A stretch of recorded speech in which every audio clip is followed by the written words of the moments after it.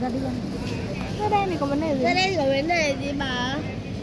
Bà hỏi điên rồi khó nhìn Đây làm sao?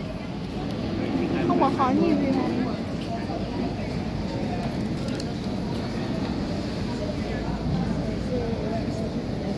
Thank you.